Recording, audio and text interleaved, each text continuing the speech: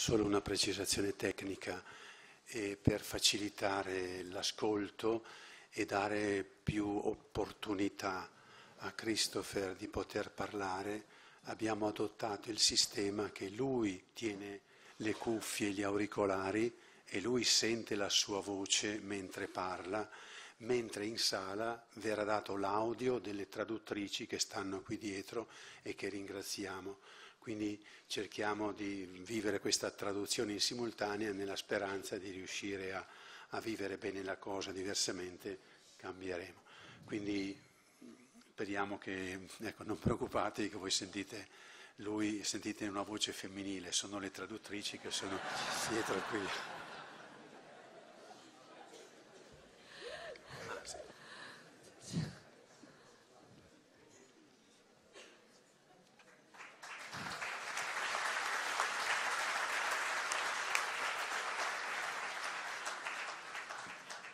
Buongiorno. Vorrei poter parlare la vostra bellissima lingua, purtroppo non la parlo. Ma comunque comunicheremo tramite gli interpreti. È un, è un dono particolare per me essere qui con voi a Mistero Grande e vedere direttamente un'esperienza molto speciale, qualcosa che sono riuscita a capire grazie a Enzo e al suo grande dono, aiutare le persone a vivere la teologia dei loro corpi. Avete ricevuto questo testo? Bene. Seguiremo questa scaletta e questo ci aiuterà a comunicare meglio il messaggio. Ho invertito l'ordine però delle due tematiche che tratterò nella mia relazione. Ho pensato che fosse importante per noi capire subito il corpo maschile e femminile, la profezia della verità, della bontà e della bellezza. E vorrei quindi parlare prima di questo tema e poi in secondo luogo parleremo più direttamente della teologia del corpo di San Giovanni Paolo II. Cosa significa che i nostri cor- corpi sono profezia di bene, bontà, bellezza e verità? Vorrei iniziare eh, condividendo con voi una storia. Una giovane coppia molto innamorata. Era una bella serata estiva, piena di stelle nel cielo eh, decisero di andare in macchina, in campagna, per trovare un luogo tranquillo dove potessero esprimere la loro passione il desiderio l'uno per l'altro tranquillamente. Quindi sono andati in una zona collinosa, hanno trovato una collinetta tranquilla, poi hanno tirato fuori una coperta dalla macchina e sono, hanno cominciato a esprimere la loro passione l'uno per l'altra ma non sapevano che si trovavano sul terreno di una parrocchia, mm, di quel villaggio di campagna. E una, un vecchio monsignore ha visto questa coppia che si dirigeva verso l'alto della collinetta e il sacerdote ha deciso che avrebbe voluto fare una piccola passeggiata e pregare. Quindi tranquillamente si avvicinò alla coppia la coppia che stava esprimendo il proprio amore, la propria passione l'uno per l'altro e non sapevano, erano assolutamente eh, ignari del fatto che qualcuno li stava osservando, fin tanto che hanno sentito il sacerdote dire ehi, eh, la coppia rimase molto interdetta di trovarsi in questa frangente ed è anche più eh, interdetta perché si è trovata a guardare diciamo, il Monsignore. E quindi si aspettavano delle parole di rimprovero i, i due innamorati, invece il sacerdote gli fece una domanda. E la domanda era la seguente. Ditemi, quello che voi state facendo adesso, cosa ha a che vedere con le stelle? E su queste parole il sacerdote ritornò alla parrocchia, lasciando la coppia molto interdetta eh, a riflettere su questo quesito che gli era stato rivolto. Cosa la passione sessuale ha? L'eros, se vogliamo, questo è un altro modo di esprimerlo e parleremo molto dell'eros questa mattina. Cosa ha a che vedere la passione sessuale, l'eros, con le stelle? Qual è il nesso? E cosa intendiamo quando parliamo delle stelle? Le stelle sono un simbolo per noi dell'infinito. E quello che noi abbiamo appreso nella teologia del corpo di Giovanni Paolo II è che, quel, che questo desiderio molto forte e nobile che noi sentiamo nei nostri cuori, nella profondità del nostro cuore, non è solo un desiderio di unione fra due esseri umani, ci porta molto al di là di questa dimensione L'eros, diciamo, fa parte della corrente della sessualità umana, ma ci dischiude una porta verso qualcosa di molto più importante, ci apre a qualcosa che ha una dimensione infinita. Se noi abbiamo il coraggio di guardare nel profondo del, del nostro cuore, scopriremo che l'eros è un desiderio per le stelle, un desiderio profondo, un desiderio profondo di infinito. È un'immagine che io amo usare per descrivere quello che ci insegna Giovanni Paolo II. Io dico normalmente che Dio ci ha dato l'eros per essere come il combustibile di un razzo, di un missile che ha il potere di lanciarci verso le stelle, verso l'infinito.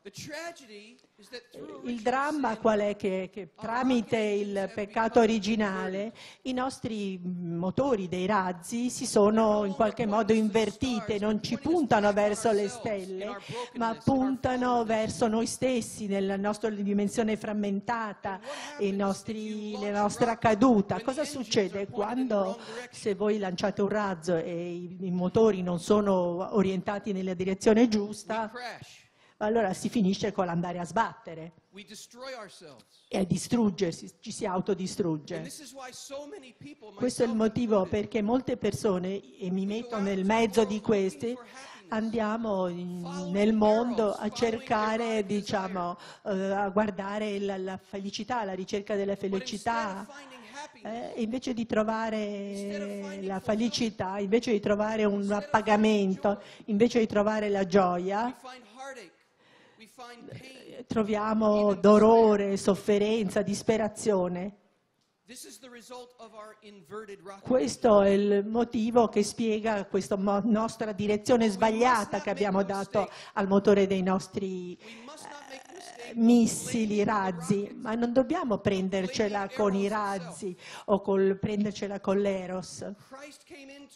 Cristo è venuto al mondo non per condannare coloro che hanno questa direzione sbagliata, ma per riorientare questi motori verso la direzione delle stelle. Per aiutarci a meglio approfondire il legame con i nostri cuori, con questo senso di desiderio forte, profondo, erotico, vorrei che voi riflettiate su un momento della vostra vita in cui il vostro cuore era stato trafitto da qualcosa di così stupendo, magnifico, che vi ha fatto in qualche modo sentire quasi la sofferenza per questa bellezza. Potete pensare a un momento nella, vita, nella vostra vita in cui avete avuto questo tipo di esperienza, di percezione.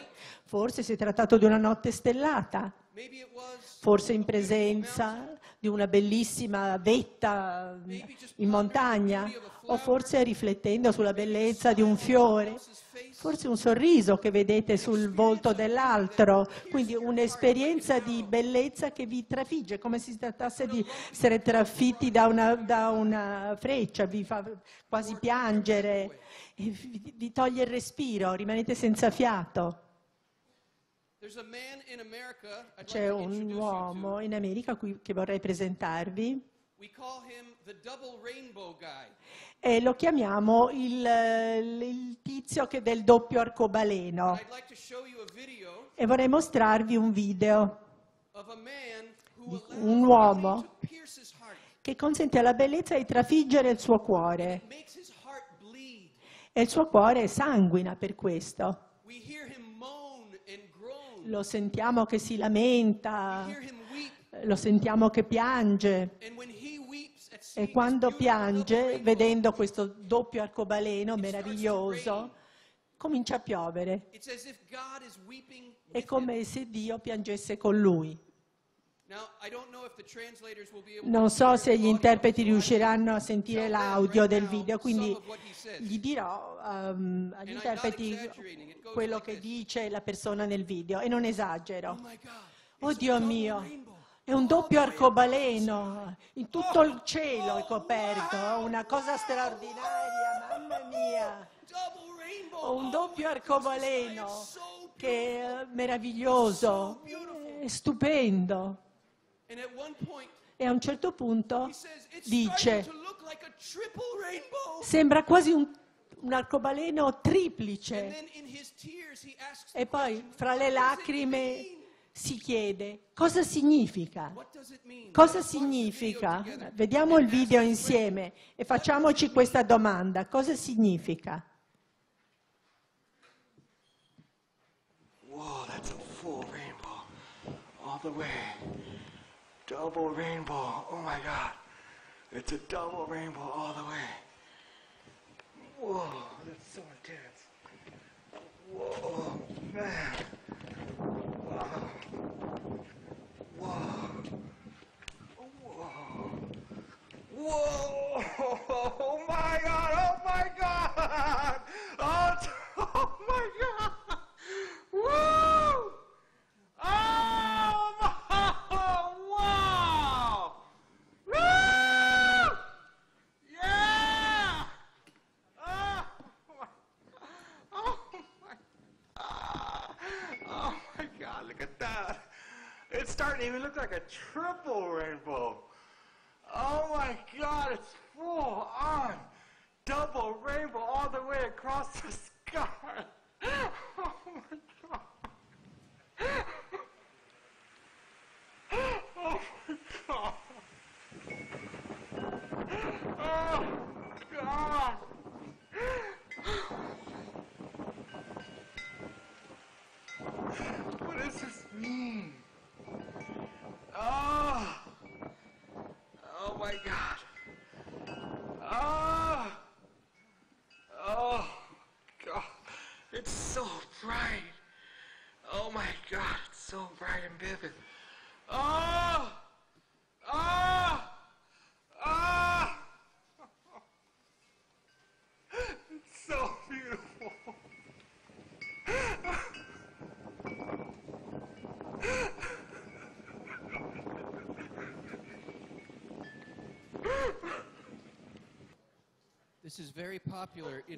Questo è molto popolare negli Stati Uniti. Più di 50 milioni di contatti su YouTube.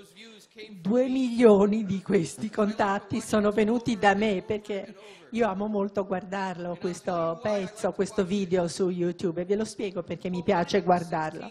Benedetto XVI ci dice che un santo è una persona che ha consentito alla bellezza di Dio di trafiggere il suo cuore così profondamente che noi ne siamo trasformati dalla bellezza di Dio all'interno. Essere un santo essere, significa essere coinvolto, preso, catturato dalla bellezza di Dio. In tutta la bellezza del creato c'è un segno che ci indica la bellezza del creatore.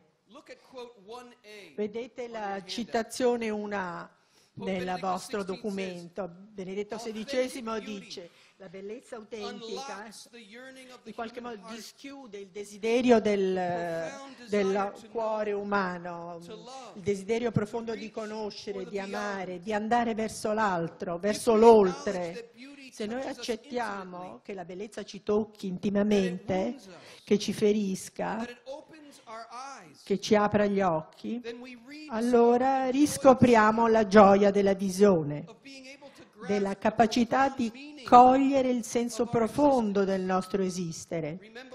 Ricordate il, tizio del doppio arcobaleno si è chiesto cosa significa questa bellezza che ci schiude a questa profonda domanda del significato della nostra esistenza e a quel punto riscopriamo il mistero, il mistero grande, il grande mistero di cui noi siamo parte.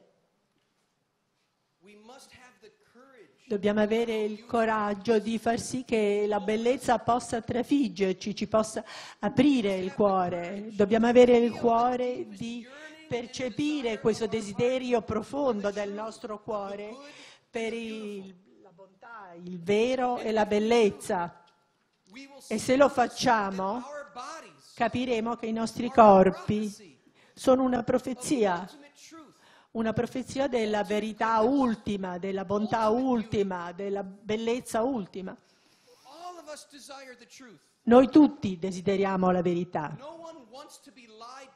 Nessuno ama sentirsi raccontare delle menzogne, noi vogliamo la verità. Questo è l'eros. Noi desideriamo quello che è bene. A volte scegliamo diversamente, scegliamo quello che non è bene, ma anche in quel caso continuiamo a desiderare quello che bene. San Tommaso d'Aquino dice che quando noi pecchiamo siamo alla ricerca di qualcosa di buono, però non riusciamo a cogliere il bersaglio come un, un arciere che dirige le sue frecce ma non coglie il bersaglio. Vogliamo qualcosa di buono, però non cogliamo il bersaglio. Lo falliamo, quindi l'essere umano è fatto per la bontà, per ve- la verità e per be- la bellezza. Quindi queste tre cose, la verità, la bontà e la bellezza, L'eros è il desiderio della verità, della bellezza e della bontà. Quindi non dobbiamo confondere i nostri desideri più profondi e nobili e erotici con le distorsioni culturali della lussuria, della concupiscenza, cioè che è l'eros invertito, l'eros al rovescio quando i nostri motori del, dei razzi sono puntati nella direzione sbagliata.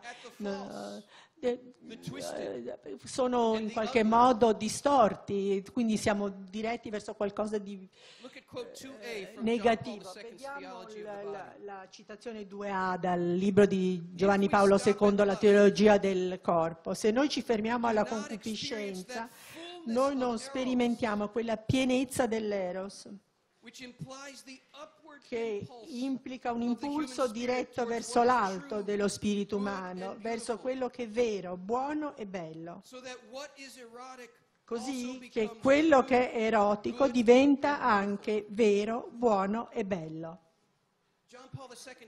Giovanni Paolo II ci dice che, che questo eros profondo, questa pienezza dell'eros, l'esperienza piena dell'eros, questo diciamo, desiderio inquieto ci definisce come esseri umani, questo desiderio profondo erotico che, che è stato chiamato dai padri della Chiesa la capacitas Dei, la capacità di arrivare a Dio. Non penso che sia questa l'interpretazione che noi diamo oggi all'eros.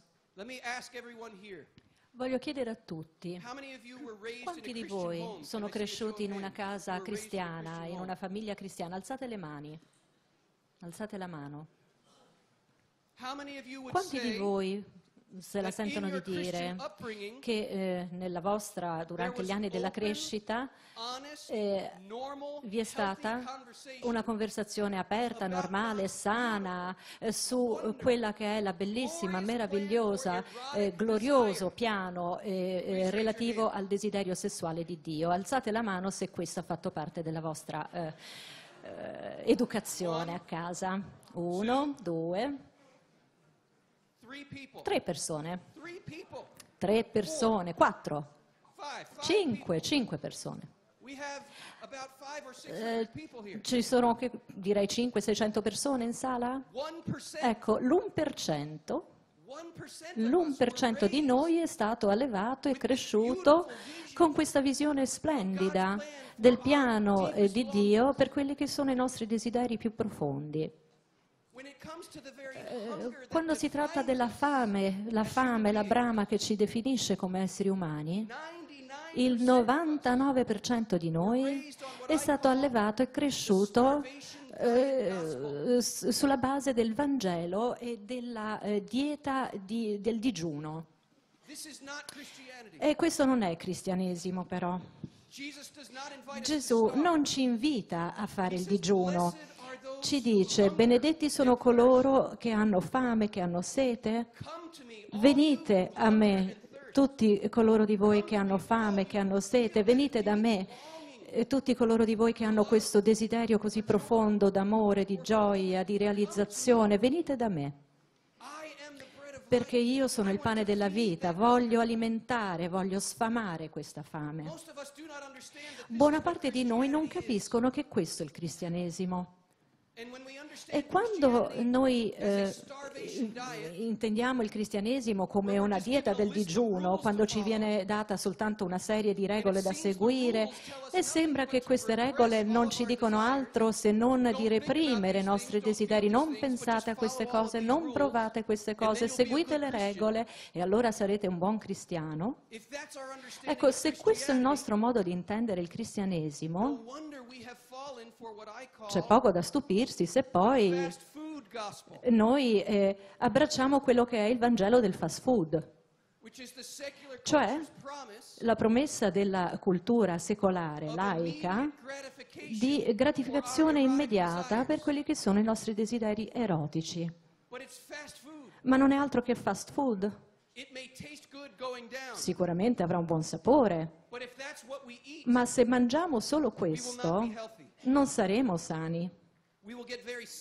Alla fine ci ammaleremo. È quello che mi è successo quando andavo all'università, durante gli anni dell'università. Io sono stato allevato sulla base di questa dieta del digiuno, pensavo che questo avesse da offrire la Chiesa e ho pensato se questo è il cristianesimo non mi interessa perché io ho fame, datemi qualcosa da mangiare, ho fame. Ecco, il fast food era disponibile ovunque. Capite quello che voglio dire quando dico fast food, no? Quindi mi sono ingozzato di fast food. E bisogna essere sinceri, quando si ha fame il fast food è buono, ha un buon sapore. E quindi ho mangiato e mangiato e poi ho iniziato ad avere un po' di mal di pancia. Durante gli anni dell'università Ricordo eh, di essere caduto in ginocchio, eh, erano anni che non andavo a messa, non avevo la fede, però ho pensato se Dio esiste, beh, se esiste ho qualche domanda da fargli, ero molto arrabbiato con Dio. Allora gli ho detto, Dio, se esisti, eh, dammi un segno. Fammi capire perché mi hai dato tutti questi desideri, Adesso mi devi far capire che cosa ne devo fare, perché questi desideri che mi hai dato stanno cacciando me e tutte le persone che conosco in un sacco di guai e provocano tanto dolore, tanto, tanta sofferenza. Cosa devo fare di tutti questi desideri? Gesù disse cerca e troverai. E quindi ho cercato, e ho cercato, e ho cercato. E nel 1993 ho scoperto un qualcosa che si chiama, vediamo se riesco a dirlo io in italiano, l'ho scritto. Teologia del corpo, corpo,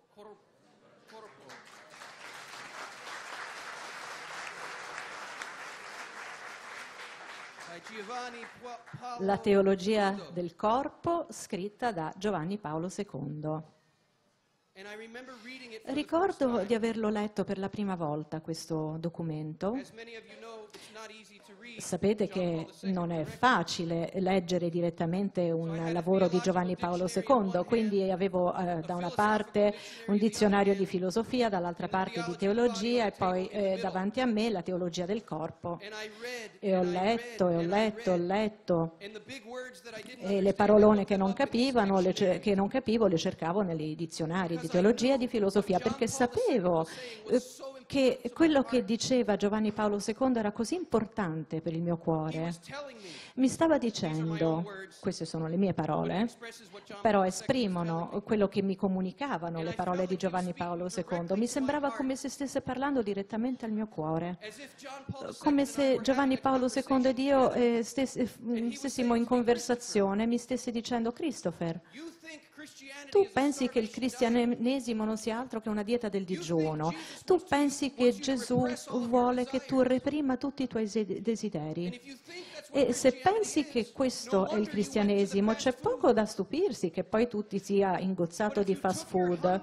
Però se tu avessi portato la tua fame a questo fast food, beh, se tu hai fatto questo sicuramente eh, hai mangiato del cibo buono, però poi ti sei ammalato e questo mi ha fatto riflettere sul mio dolore. E poi mi ha detto, questa è la mia immagine, ma il suo messaggio, mi ha detto guarda eh, Cristi, eh, il, il, cristianesimo non è dieta del digiuno, bensì un invito a un banchetto, una festa di nozze, alla realizzazione del tuo desiderio, al di là, oltre tutto ciò che tu possa pensare e immaginare.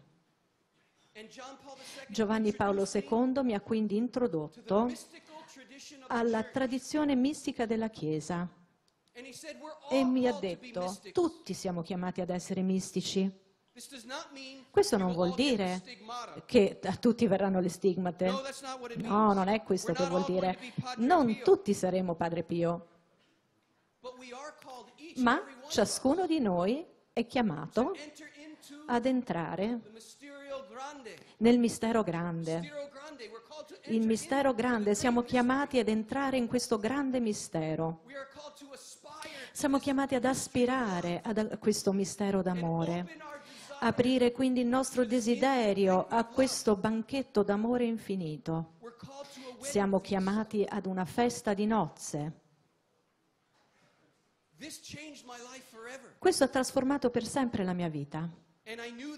Sapevo all'epoca, all'epoca avevo 23-24 anni, Sapevo già che avrei trascorso il resto della mia vita a studiare questa teologia del corpo per poi condividerla con il mondo.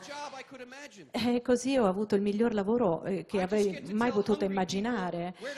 Posso semplicemente rivolgermi alla gente affamata e dirgli dove trovare del buon cibo. Una volta ho sentito dire che l'evangelizzazione eh, vuol dire una persona affamata che dice a un'altra persona affamata dove trovare del buon cibo. Ed è questa la teologia del corpo, ci offre del buon cibo, cibo gustoso. La tentazione, tuttavia, eh, consiste nel pensare che siccome siamo stati avvelenati da un cattivo cibo, eh, tendiamo a pensare che la nostra fame eh, sia un qualcosa che non va bene e la tentazione è quella di pensare che il corpo è un male, la sensualità è un qualcosa di cattivo, di malvagio, di non sacro. Vorrei citare eh, Papa Francesco, la citazione 2b. Ci dice Francesco, il rifiuto delle distorsioni della sessualità e l'erotismo non dovrebbe mai condurci ad uno svilimento o alla negazione della sessualità e dell'eros. Quando l'eros è sublimato, o potremmo dire quando i, eh, eh, quando le, le, i motori del nostro razzo sono puntati nella direzione sbagliata, ecco, dicevo, ehm, eh, questo diventa una ehm, sublimazione, diventa un'affermazione pura e genuina, rivelando di quali meraviglie è capace il cuore umano. Il vostro cuore è capace di meraviglia. E noi viviamo questa meraviglia nella misura in cui abbiamo il coraggio di sentire quelli che sono i nostri desideri più profondi, eh, eh, il nostro desiderio di verità, di bontà, di bellezza. Vi è un'unione infinita d'amore per la quale noi tutti siamo stati creati. Il nostro corpo è profezia di questa unione eterna. Il nostro corpo proclama questa unione eterna. Come ha detto Tony all'inizio di questa sessione mattutina, la Bibbia comincia con il matrimonio tra uomo e donna nel, nel giardino di Eden e finisce con il matrimonio tra Cristo e la Chiesa nella rivelazione, nell'Apocalista. E nel centro del libro c'è il Cantico dei Cantici, quella bella poesia d'amore erotica che troviamo nel centro, al cuore delle scritture. E poi in tutta la Bibbia vi è questo racconto, il racconto di questa storia d'amore. Papa Francesco dice che se non sappiamo di far parte di questa storia d'amore eterna, non sappiamo assolutamente nulla di eh, ciò che è la Chiesa, di ciò che è il cristianesimo. È un invito a questo eterno matrimonio, a questa eterna unione. Siamo stati creati per un qualcosa di infinito. E l'obiettivo della vita cristiana non è quello di uccidere il desiderio. L'obiettivo è e consiste proprio nella profondità del desiderio. L'obiettivo di una vita cristiana attraverso la grazia di Dio, perché non lo possiamo fare da soli, consiste nell'apprendere grazie, attraverso la grazia di Dio e di ridirigere i, nostri, i motori del, nostri, eh, del nostro razzo verso le stelle. Prendete la terza sezione del documento che vi è stato con, eh, distribuito, in, intitolato Reindirizzare il desiderio. Eh, poche parole prima di fare una pausa. Leggiamo qui che siamo stati creati per l'infinito.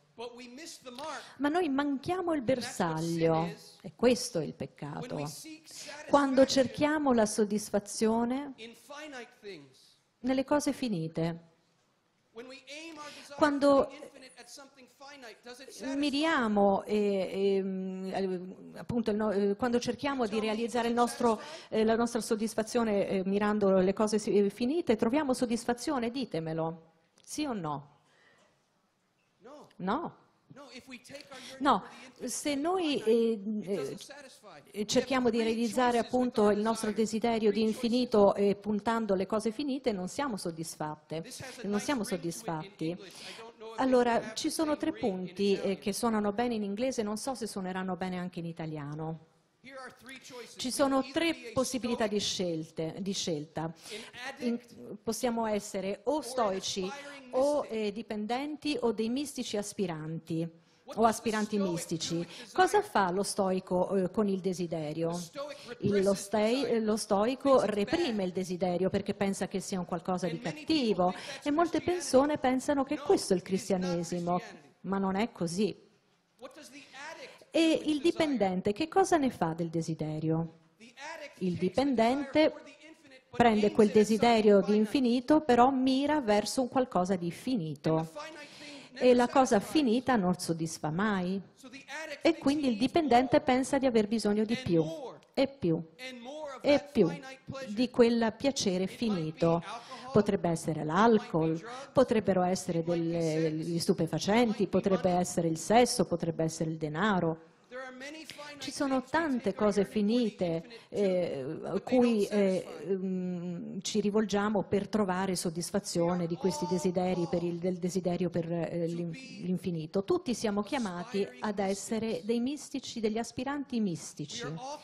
Siamo tutti chiamati ad apprendere come dirigere il nostro desiderio secondo appunto il desiderio di Dio per poter raggiungere il nostro destino. E questa è la vita eh, cristiana. Prendiamo la citazione 3a di Benedetto XVI.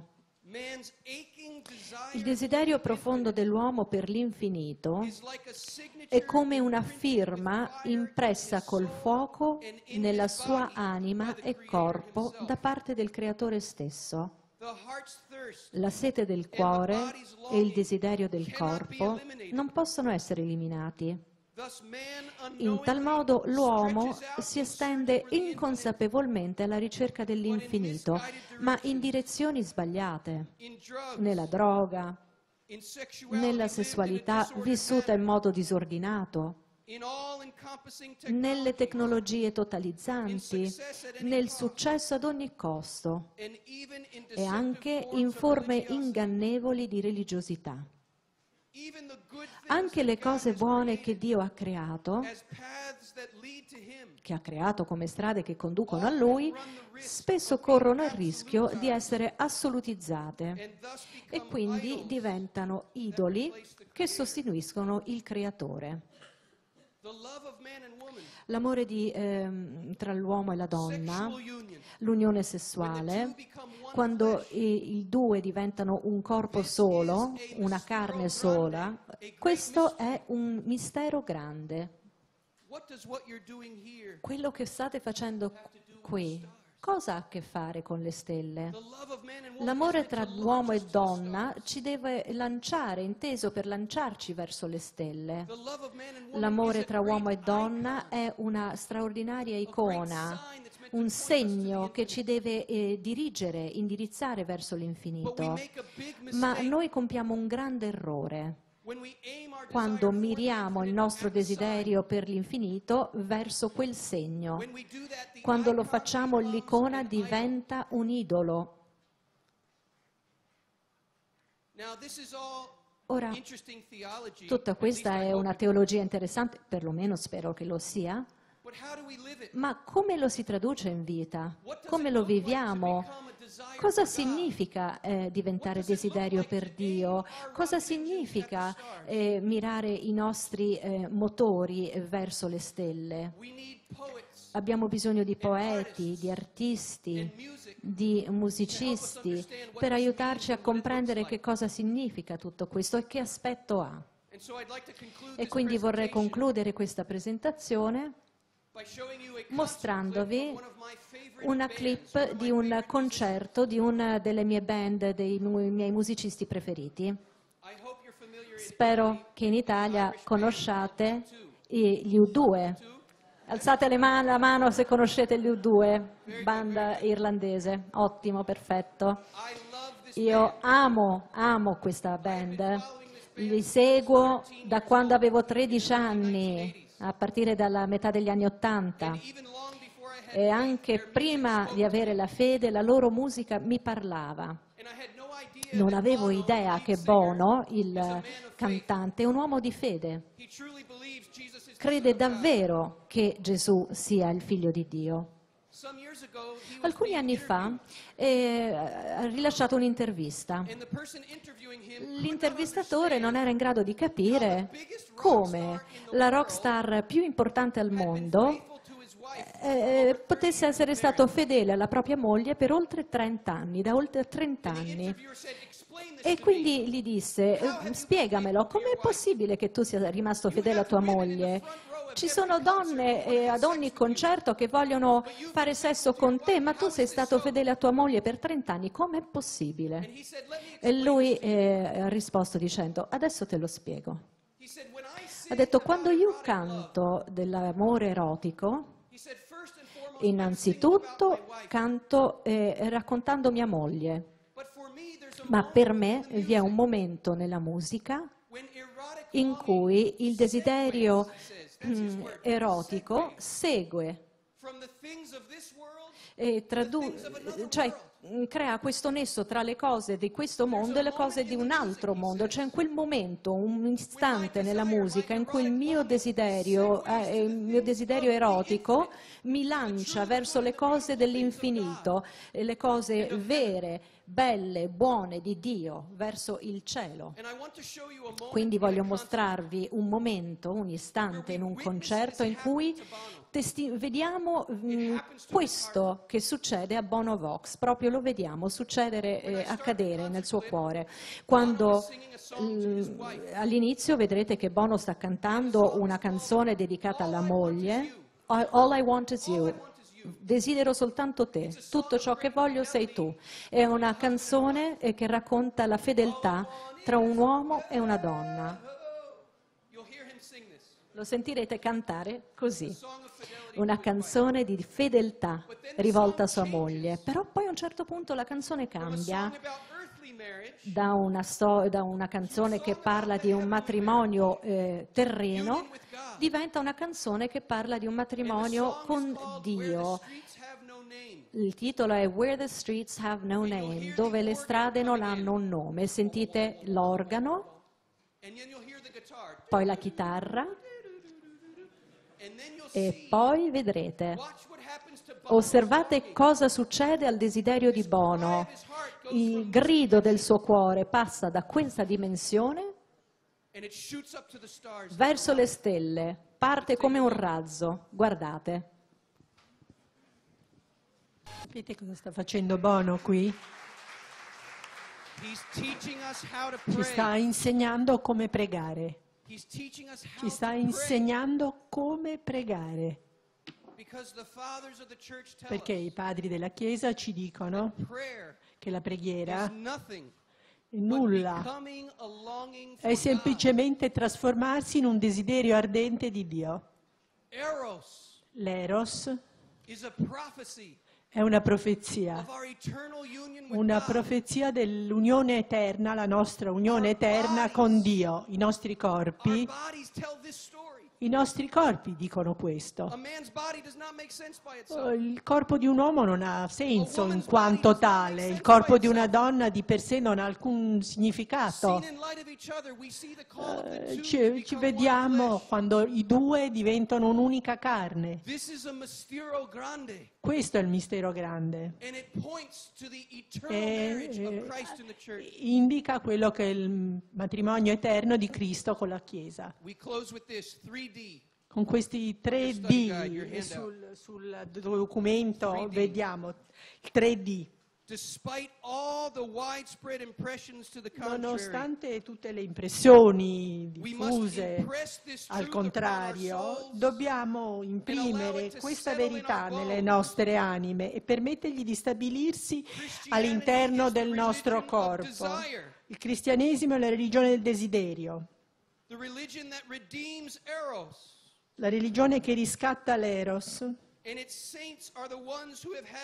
E i suoi santi sono coloro i quali hanno avuto il coraggio di sentire l'abisso del desiderio nelle loro anime e nei loro corpi. E di aprire il desiderio in gemiti della preghiera. Pensate al, a quello che dice Bono che gemeva. Quindi apriamo oh, questo gemito a colui che solo può guarire la ferita d'amore. Questo è il motivo per cui i nostri corpi sono una profezia della verità, della bontà e della bellezza di Dio. E noi dobbiamo annunciare tutto ciò. Dobbiamo diventare i profeti della teologia del corpo nella cultura contemporanea. Questa è la nuova evangelizzazione. Invitare il mondo intero a condividere il mistero grande. Grazie.